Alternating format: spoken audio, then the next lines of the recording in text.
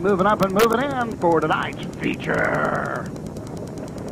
Pages are up behind the gate. The gate swings around the turn, and there they go.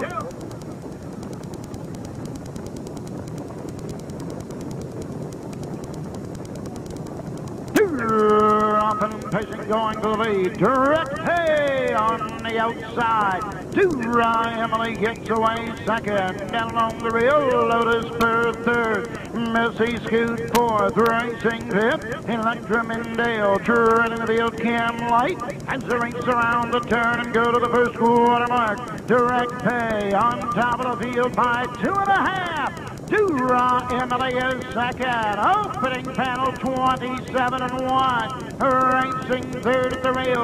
Lotus Spur. Missy Scoot fourth. Racing fifth. Into the turn. Electra Mindale. Treading the field. Cam Light. They're at the 3-8 mark and moving into the clubhouse turn. Direct pay with the Dura Emily is second. Lotus Spur racing third. Missy Scoot fourth.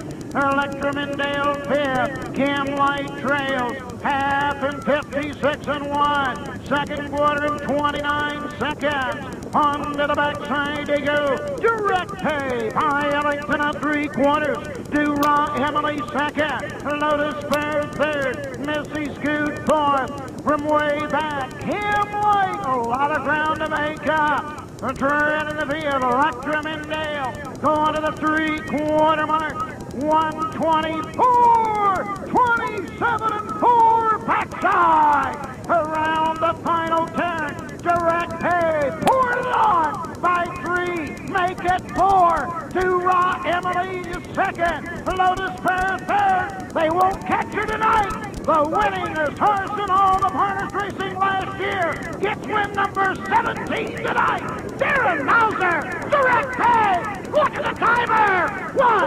152 and 1. Lifetime mark, direct pay. The four-year-old mare. That is a world record. 152 and 1. Track record performance. It is also a world record for four-year-old mares on the 5/8 mile track. And uh, the people that keep the records will be mighty happy that she did it tonight because there were total of five horses tied for the world's record. Now there is one. Into the winner's circle, establishing a world's record in harness racing for four-year-old mares on the 5/8 mile track, a mark previously held by five horses. And listen to these five. Caesar's Jackpot, Shady Daisy, Paris Burr, Swing Back, and Believe This Gal, all in 152 and 2. Tonight, a world's record performance for direct pay Owned by Robert Henry of Fort Lauderdale, Florida. Paul Johnson trained. Darin Mouser in the bike. The four-year-old mare, but payday out of Almahurst. Comes home the winner in 152 and 1. Track record, world's record. Final half 56. Final quarter 28 and 1.